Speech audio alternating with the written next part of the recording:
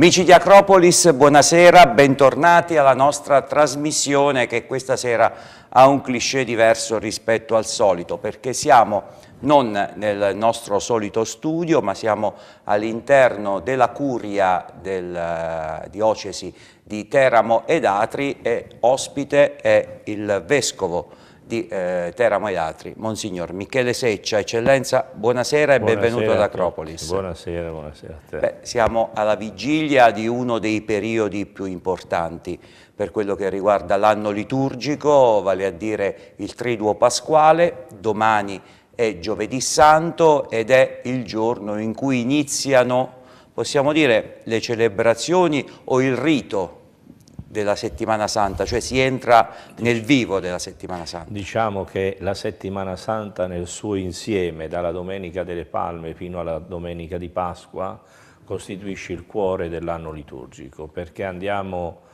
al centro del mistero della nostra fede, passione, morte e risurrezione del Signore, che inizia, come sappiamo, proprio con l'ingresso trionfale di Gesù in Gerusalemme acclamato dalla folla, dai bambini con le palme di ulivo e soprattutto con quell'inno Osanna al figlio di Davide, benedetto colui che viene nel nome del Signore.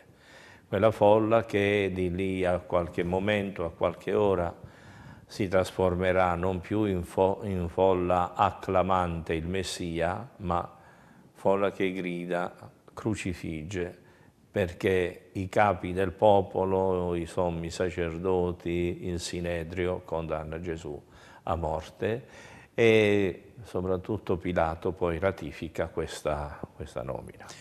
Il momento, come dicevi giustamente, si parla del triduo che inizia domani. Il triduo inizia, se vogliamo essere puntuali dal punto di vista cronologico, giovedì sera, perché già con il giovedì sera, con la messa in cena domini, si ricorda l'istituzione dell'Eucaristia. L'avere introdotto ormai da tanto tempo la messa crismale al mattino per la benedizione degli oli che servono per i sacramenti, l'olio dei catecumeni, l'olio degli infermi e il crisma per le ordinazioni sacerdotali, episcopali, per la cresima, è un modo di prepararsi al triduo pasquale, ma veramente l'inizio è la celebrazione dell'ultima cena con la lavanda dei piedi e soprattutto la celebrazione dell'Eucaristia.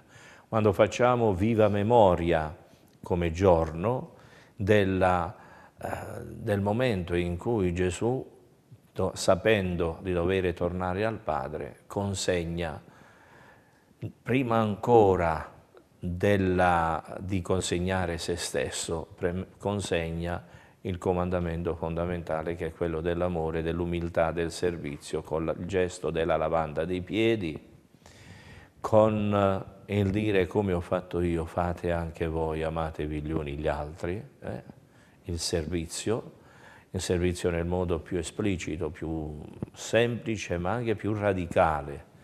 E teniamo presente un particolare che non deve sfuggire, che Gesù ha lavato i piedi anche a Giuda. Giuda non era ancora uscito durante la lavanda dei piedi, come pure durante il, quel, quelle famose parole, no? prendete e mangiate, questo è il mio corpo, prendete e bevete, questo è il mio sangue. Questo ci dice la consapevolezza che Cristo ha di andare incontro alla sua passione, al tradimento di Giuda, cose che annunzia durante l'ultima cena. Eccellenza, da un punto di vista temporale, adesso questa forse è una curiosità che hanno molti, se il ricordo e il racconto è rispettato a partire dal giovedì santo, perché poi i tempi sono quelli, dall'ultima cena alla preghiera nel Getsemani e alla cattura di Gesù, dal punto di vista temporale invece, ritornando alla Domenica delle Palme, c'è il rispetto dei tempi, cioè era una settimana prima quando Gesù è entrato a Gerusalemme oppure la Chiesa ha dovuto allungare un po' i tempi? No, la Chiesa non ha allungato i tempi, ha rispettato quanto è detto nei testi biblici, nel racconto del Vangelo e dei, dei Vangeli sinottici, cioè Matteo, Marco e Luca e del Vangelo di Giovanni. Gesù entra in Gerusalemme e durante i primi giorni della sua presenza in Gerusalemme, tra gli incontri, i dibattiti che ha con gli scribi, i farisei, con i dottori della legge, si acuisce ancora quella tensione di cui si avverte che ha l'esplosione proprio, eh, come dire, nel tradimento da parte di Giuda. Questo tempo, che siano due giorni, che siano quattro giorni, è in qualche modo scandito, per esempio, nelle liturgie di lunedì, martedì e mercoledì, sia come tempo di preparazione, eh, di meditazione, perché la prima lettura riguarda i tre canti del servo sofferente di Yahweh scritti da Isaia, dal, che troviamo nel libro di Isaia, che anticipano, cioè quasi descrivono letterariamente ciò che sarebbe successo al Messia. E poi l'ultimo canto, il quarto canto, trova, lo leggiamo come prima lettura dell'azione liturgica del Venerdì Santo mentre i brani evangelici, quello di ieri che ricorda la, in casa di Simone la, la, rottura del vaso che conteneva l'unguento profumato per lavare i piedi di Gesù e Gesù dice questo è in preparazione della mia morte. Oggi si ricorda il particolare dell'ultima cena quando Gesù dà un boccone a Giuda perché Giovanni gli chiede chi sarà, cioè una ricostruzione attraverso la lettura della parola di quello che avviene anche nell'ultima cena, ma per prepararci agli eventi, dove la cronologia è rispettata, ma parzialmente proprio per poterla distribuire nel tempo. Ma là dove noi abbiamo anche una difficoltà, diciamo, di tempo, è perché per gli ebrei, tramontato il sole, è già iniziato il giorno successivo diversa, un diverso Con calcolo, computo del tempo. Il computo sì. del tempo. Quest'anno è una Pasqua particolare, lo è stata anche altre volte, perché eh, la Pasqua cade qualche giorno prima dell'ostensione della Sacra Sindone a Torino. Ecco, forse la testimonianza più forte della passione e della morte eh, di Gesù ha un significato particolare, poi parleremo anche dell'anno santo che, eh, del Giubileo che è stato proclamato per, eh, a partire dall'8 dicembre da Papa Francesco. Ecco, il fatto che la Pasqua cada proprio 10-15 giorni prima dell'ostensione della Sindone a Torino ha un significato particolare? Beh, il significato grande è che innanzitutto si tratta di una ostensione non ordinaria, ma straordinaria quindi come evento permesso dal Papa perché ci vuole l'autorizzazione anche del Papa per procedere. Eh, ricordiamo che l'ultima è caduta nel 2010, quindi appunto, 5 anni fa. abbastanza recentemente, però a Torino in quest'anno ricorda anche il secondo centenario della morte di Don Bosco e quindi la presenza dei salesiani. Sono, il Papa si recherà a Torino e si fermerà due giorni proprio per l'ostensione della Sindone perché la sindone rappresenta ecco, la reliquia più preziosa. Quando diciamo reliquia è la testimonianza della passione del Signore, nonostante tutte le osservazioni, potremmo dire in qualche modo anche qualche contestazione, però fino ad oggi per coloro che hanno studiato la sindone, e in modo particolare con le ricerche scientifiche, cioè l'individuazione dei pollini, presenti sul lino, eccetera, ecco, come, sia come datazione, sia come raffigurazione, tutto corrisponde a ciò che è descritto nella, nei sacri testi, nei Vangeli, l'uomo della sindone corrisponde a colui di cui i Vangeli parlano. Io ritengo che ho avuto la possibilità due volte di vedere la Sindone, l'ultima volta in maniera diretta, molto vicina e anche a lungo. E consiglio a tutti, di, chi ha la possibilità ovviamente, di andare a Torino perché è un'esperienza unica forse. Sì, io sono stato anche l'ultima volta che c'è stata l'esposizione della Sindone e ricordo che è un tema che mi ha appassionato da tempo da quando nel 78 ci fu un'altra esposizione, quando Baima Bollone, uno dei più grandi ricercatori, anche un medico, ha approfondito, ha pubblicato diversi studi scientifici proprio, non si tratta di dire l'autenticità, l'originalità, che cosa è la sindone, cosa contiene la sindone, come si ottiene anche, si è potuto ottenere questa immagine che al di là di ciò che qualche scienziato ha ritenuto di poter fare come esperimento attraverso diciamo, una sagoma e avvolta nel lino, eccetera, ciò che è avvenuto per la sindone è un fatto veramente straordinario. Quanto c'è della Pasqua nella sindone? O quanto c'è della sindone nella Pasqua? Ma la Pasqua ricorda che Cristo è morto ed è risorto. La sindone ricorda la sofferenza, la passione del Signore. La sindone ricorda che, per esempio, quando Gesù dice non abbiate paura, sono io e mostro loro, Gesù risorto, e mostro loro le ferite delle mani e dei piedi, sulla sindone risultano queste ferite. Non è una ricostruzione a posteriori. In Abruzzo abbiamo un'altra testimonianza forte di quell'esperienza, che è il volto santo il di volto Manoppello. di Manoppello, sì, il mandilion, cioè una specie di lenzuolo, di fazzoletto.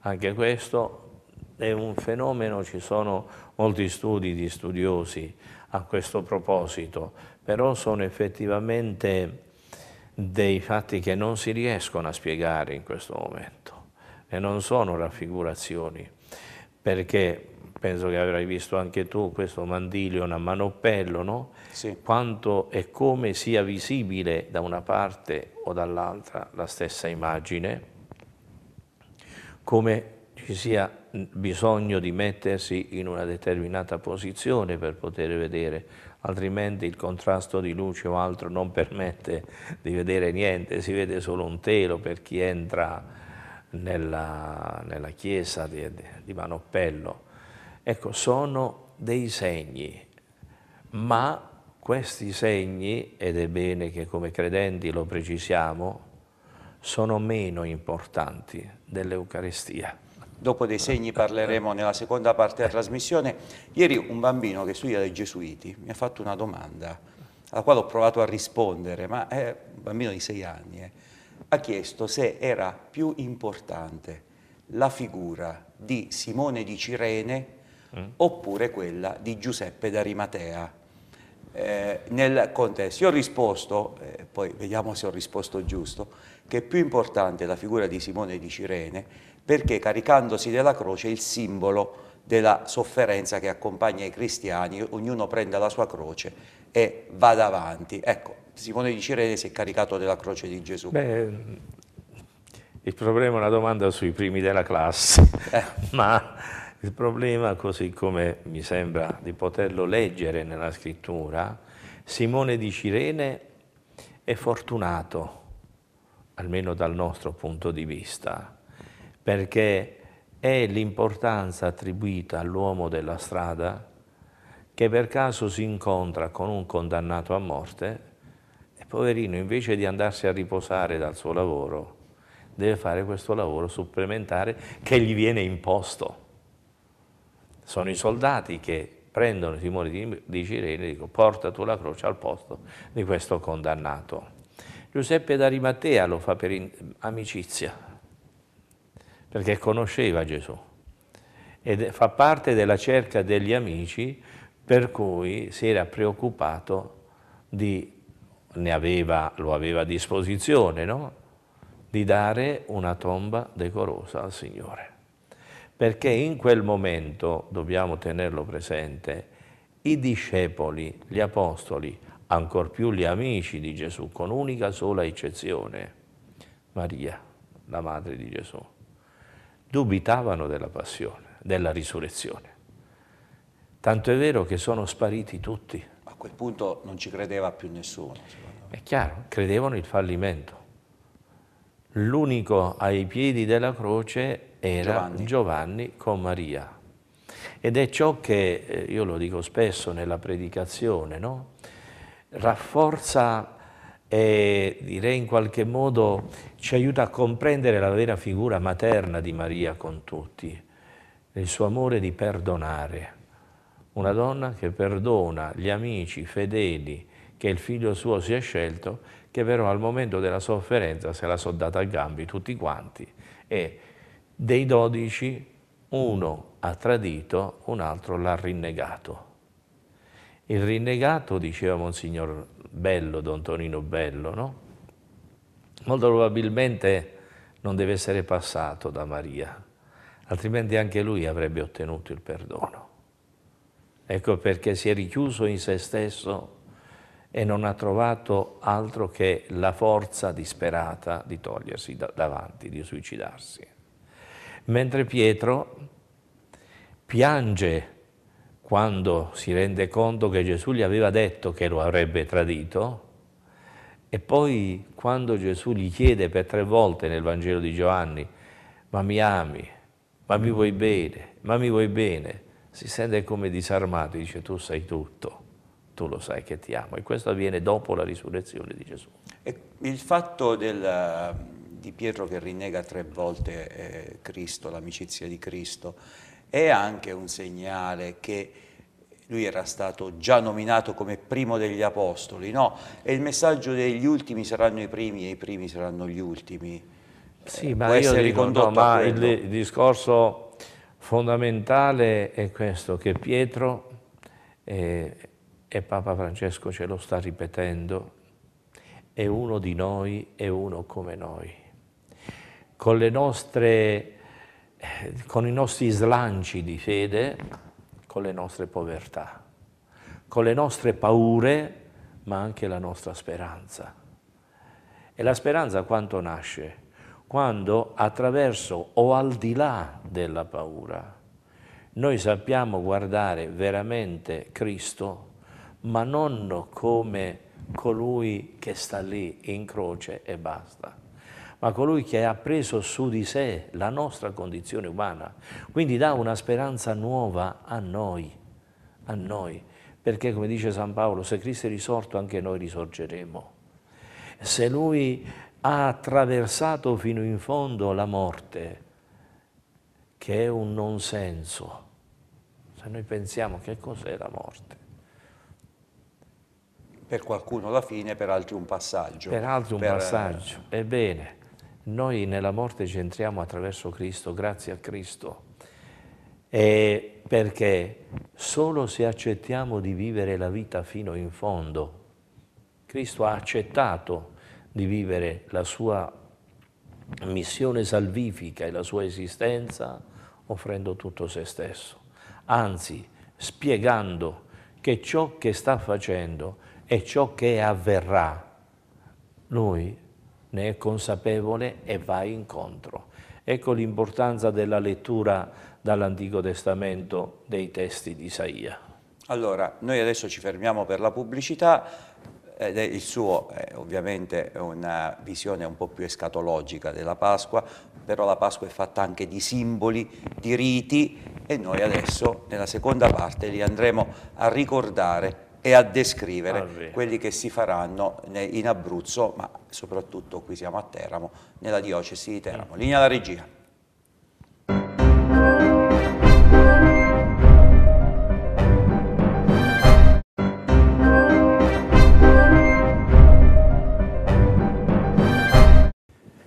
Eccoci di nuovo in compagnia del Vescovo di Teramo ed Atri, Monsignor Michele Seccia. Allora, quella del, del Vescovo, del sacerdote, è una missione, però a volte eh, potrebbe anche essere visto, tra virgolette, come un lavoro, no? E allora, in questi giorni di preparazione alla Pasqua, il lavoro aumenta.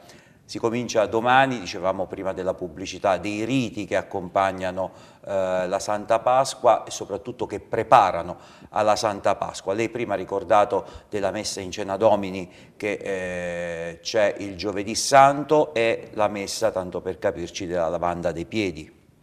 Sì, il giovedì santo quando inizia praticamente il triduo pasquale che comprende la messa vespertina definita dall'antichità, no? messa in cena domini, l'istituzione dell'Eucaristia, poi il venerdì con l'azione liturgica perché non c'è la celebrazione della, della, messa il venerdì e la grande veglia pasquale. È l'unico giorno in cui nell'anno dove non si celebra non si celebra la messa e coloro che partecipano all'azione liturgica possono accostarsi all'Eucaristia proprio con l'Eucaristia consacrata la messa del giovedì santo. Lei ha ricordato la messa in cena domini, la messa dove si eh, istituisce l'Eucaristia. Ecco perché poi, dopo la messa, eh, ci sono quelli che volgarmente vengono definiti impropriamente i, I sepolcri, sepolcri, ma che è invece l'esposizione del esatto, Santissimo Sacramento esatto, e l'adorazione esatto. del Santissimo esatto. Sacramento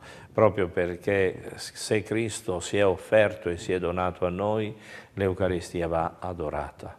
C'è il momento dell'adorazione, si susseguono i turni di preghiera non solo nella cattedrale, un po' in tutte le parrocchie e poi c'è stata questa tradizione, anche questa plurisecolare che si è sviluppata un po' in tutto il mondo, cioè il giro delle chiese, quasi un pellegrinaggio che i fedeli fanno o in gruppi o individualmente. Io ricordo quando da bambino lo facevo con i miei genitori tutti i giovedì santi alla sera, per un momento di preghiera e di adorazione nelle varie chiese. Ecco, questa è l'occasione per riscoprire, meditare il valore dell'Eucaristia, cioè la presenza di Cristo in mezzo a noi. Si è mai chiesto perché nella tradizione popolare vengono definiti sepolcri? Perché prima eh, anche la stessa conservazione ed esposizione dell'Eucaristia aveva la forma di un sepolcreto. Eh? E per questo, allora. Proprio per questo, no? perché entra, si entra già nel clima della passione, nel clima del Getsemani. Difatti, dopo l'ultima cena, Gesù si reca con gli apostoli nel Getsemani e lì comincia la sua sofferenza. Padre, se possibile, allontana da me questo calice, ma non come voglio io, come vuoi tu. Cioè si affida totalmente alla volontà del Padre. Invita gli apostoli a vegliare con lui, lo spirito è pronto ma la carne è debole. Eh, lo dice per gli apostoli, ma lo dice anche per sé, no? come quel grido dalla croce alla fine di abbandono definitivo e radicale, perché non è un grido da disperato, Dio mio, Dio mio, perché mi hai abbandonato. Il Salmo 21 esprime la preghiera del, del sofferente, di colui che è attaccato, che è minacciato, è, ed è eh, invece nel momento di affidarsi totalmente alla grazia di Dio, Signore. Senta, Eccellenza, la religione cattolica è fatta anche di cabala e di numerologia. I numeri sono importanti perché ce ne sono alcuni che ricorrono, ma questa tradizione nel volere che le chiese da visitare siano dispari, anche questa ha una sua radice eh, culturale o è solo una tradizione popolare? Solo tradizione popolare, io non parlo assolutamente di Kabbalah, assolutamente, perché il discorso dei numeri fa parte del significato teologico di Israele. Per esempio il numero 40, che appare tantissime volte, il, il numero 40 indica un tempo preciso di prova un tempo di speranza, un tempo di deserto, un tempo di pellegrinaggio, un tempo di attesa, alla fine del quale avviene sempre qualcosa di importante, cioè l'uomo riscopre Dio, l'uomo riscopre la propria dignità, l'uomo riscopre il senso della vita. E per il questi diluvio, 40 giorni della Quaresima... Diluvio, eh... possiamo fare un elenco veramente lungo, cominciando dai 40 giorni del diluvio, che piove 40 giorni e 40 notti di seguito, per arrivare poi a Mosè, 40 giorni sul monte, per arrivare ai 40 anni nel deserto, per i 40 giorni del cammino di Elia, per insomma tanti tanti... Poi ci sono il numero 3, il numero 7 che tornano sempre, però restiamo aggrappati alla Pasqua perché c'è abbiamo parlato del giovedì santo, parliamo adesso del venerdì santo, perché nella diocesi di Teramo e soprattutto a Teramo città c'è una tradizione che è unica in Italia, vale a dire quella della processione penitenziale della Madonna Addolorata che eh, c'è la mattina alle 4. È una, ci sono, una tradizione... Radici, ci sono delle radici molto antiche, anche in altre parti del mondo, pensiamo in Spagna, pensiamo alle sacre rappresentazioni del XII secolo, del XIII secolo, no? Ah, pensiamo alla canzone di Jacopo Nerato di Donna del Paradiso, lo tuo figliolo è priso, Gesù Cristo beato, eccetera. No? E quindi è questa pietà popolare che si è sviluppata quando? Quando sin da quando la gente ha inteso partecipare con un coinvolgimento, direi, anche emotivo, profondo, di fede e di religiosità. Eh? I due termini vanno messi insieme, non si contrappongono. È una religiosità popolare, ma non è detto che è senza fede. Quando diventa solo una rappresentazione, qui bisogna stare attenti. Allora non va bene. Allora non va bene. Diversamente eh, eh, è un'espressione della fede. E quindi quello che avviene a Teramo è un fatto, io ci partecipo tutti gli anni, veramente importante il volere ecco, imitare o pensare alla madre che va alla ricerca del figlio. Ecco, la cosa che colpisce di più per chi partecipa magari la prima volta a questa uh, processione è il gran numero di persone che prendono parte eh, e seguono la statua della Madonna. Eh, lei è rimasto colpito la prima volta appena arrivata a Teramo che eh, ha preso parte per la prima sì, volta sì, a questa sì. processione, una... perché le 4 del mattino sono le 4 del mattino. Eh. Sì, però è un fatto, ripeto, che risponde proprio a questo, direi quasi bisogno, a questa testimonianza no? di fede che poi sta alle singole persone e anche a noi sacerdoti, al clero, no? Di impostare e di vivere nel modo migliore queste cose, perché diversamente restano semplici tradizioni da osservare, allora cadiamo un po' nell'antropologia culturale. È per questo che lei, eh? Eh, attirandosi anche qualche critica, ha vietato l'applauso al rientro sì, della, non, della processione. So, sì, perché l'applauso potrebbe anche essere spontaneo, ma non dice la partecipazione piena e convinta ad un momento di, parte, di condivisione, di espressione di fede, di sofferenza. Poi diciamo che l'applauso in un momento come quello, vicino alla morte del figlio, dovrebbero niente, portare insomma. più alla preghiera, però anche questo diventa un segno di cultura per, sulla quale dovremmo fare un po' attenzione perché anche oggi spesso, no, in occasione di alcuni funerali, c'è un grande applauso che poi gli psicologi interpretano un applauso liberatorio, ma poi cosa rimane dentro di noi? Cosa rimane? Ecco, il discorso della fede è ciò che l'uomo vive in se stesso, come si rapporta a Dio, alla verità, alla verità del Vangelo, come si rapporta all'insegnamento che Cristo ha lasciato, alla testimonianza. Perché se è una semplice sacra rappresentazione, lascia il tempo che trova. Queste manifestazioni dovrebbero aiutarci alla preghiera, a riflettere sulla sofferenza di Dio e sulla nostra sofferenza. Poi invece c'è la processione, quella definita del Cristo morto, che invece è sviluppata in quasi tutti i centri, non solo abruzzesi ma anche italiani. No? Anche quella è una tradizione, anche quella è molto partecipata, come se in questi momenti come nella vita normale, esatto. no? quando ci sono i momenti di dolore, tutti ci sono dei momenti nei quali ci si scopre eh, o ci si mette in ascolto di quel bisogno interiore che la persona avverte, quel momento di riflessione chi, direi da bambino, da adolescente, non è stato colpito da questi eventi religiosi. Poi è chiaro, ciascuno compie le proprie scelte, ma il valore, il significato anche eh, antropologico e il significato ancor più della fede che hanno queste manifestazioni aiuta molto la maturazione delle persone. Il, la processione del Cristo morto, cos'è? Una, una un funerale? Che cosa deve rappresentare? No, è una semplice raffigurazione e rappresentazione di tutti i simboli della passione, almeno come si svolge a Teramo. Eh? Si portano in processione dal uh, fasciolitorio dei Romani, no? Al catino dove al catino, Pilato si, al gallo che, al canta, gallo che canta, alla scala, ah, insomma, la i simboli rossa. della passione, la tunica, eccetera. No?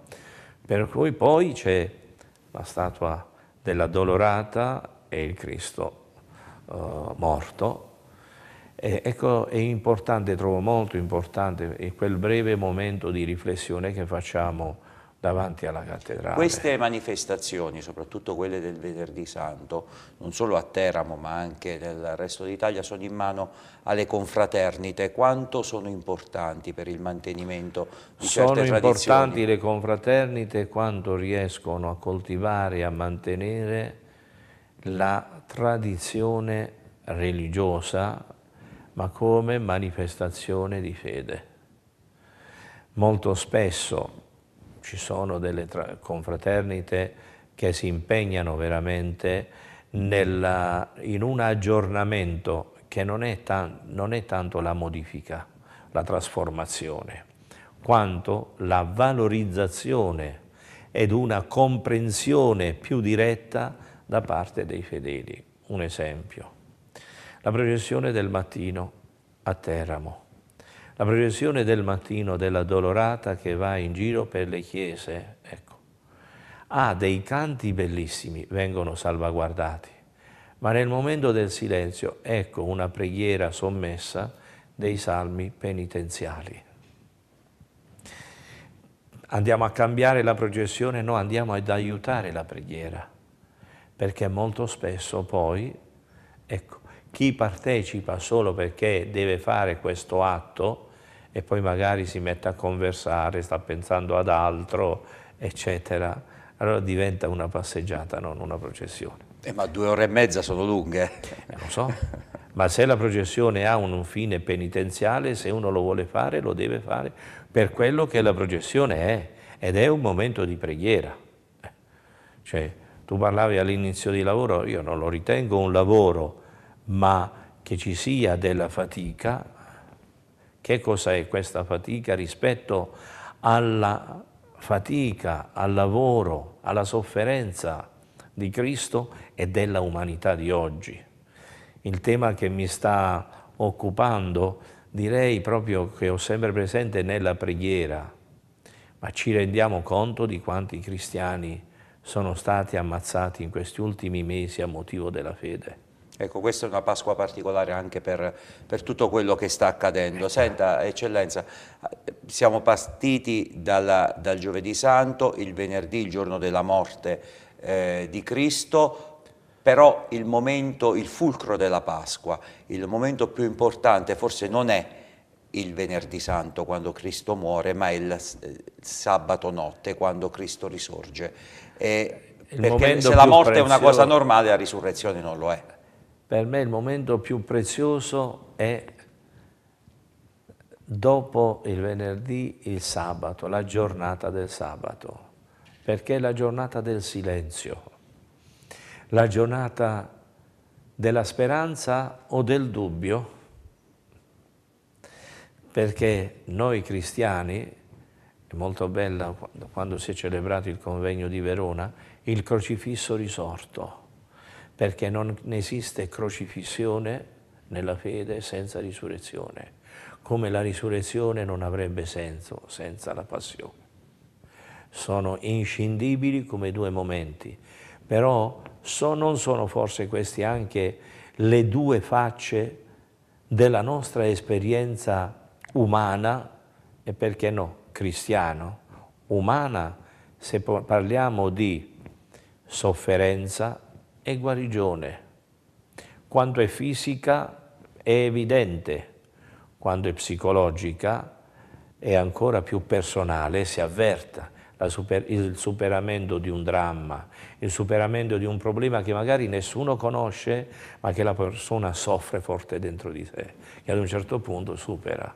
Dal punto di vista religioso, dal peccato alla grazia, cioè da una vita lontana da Dio, dal no di Giuda o dalla paura di Pietro alle lacrime della conversione, della confessione e quindi della vera Eucaristia.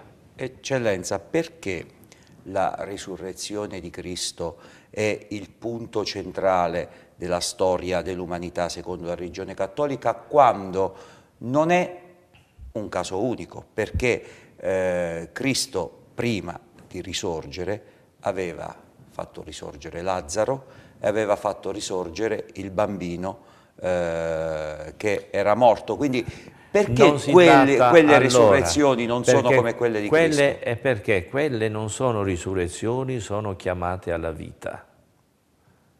Sono stati richiamati in vita. Gesù torna, ma torna nella, uh, come dire, nella concretezza del suo corpo glorioso e glorificato. Difatti, entra, ecco i Vangeli usano questo linguaggio che noi dobbiamo capire. No? I discepoli, gli apostoli sono chiusi nel cenacolo per paura dei giudei. Entra Gesù a porte chiuse. Un corpo non attraversa la porta. Eppure attraversando, la, cioè entrando a porte chiuse, mentre i discepoli prendono paura, Gesù mostra loro le mani, perché prima credono che si tratti di un fantasma, nel vedere le ferite, eh? ecco là, i discepoli gioirono nel vedere il Signore. E Tommaso che non si trova ha dei dubbi, Gesù ritorna, dice tu metti qui le tue mani, vedi. Siamo quasi alla fine, io sì. ancora due domande ho da farle. La prima, eh, nel, durante la veglia pasquale solitamente si celebrano eh, alcuni battesimi, eh, come mai? Come mai? proprio questo flusso migratorio da una parte. Secondo, proprio questa libertà educativa di genitori che cominciano, continuano a pensare di non dover imporre la propria fede ai figli, ci sono sempre più adulti che chiedono di ricevere il battesimo. Difatti non si tratta solo di stranieri, per lo più da noi sono stranieri, no? ma anche di italiani che in una età matura chiedono di poter ricevere il battesimo.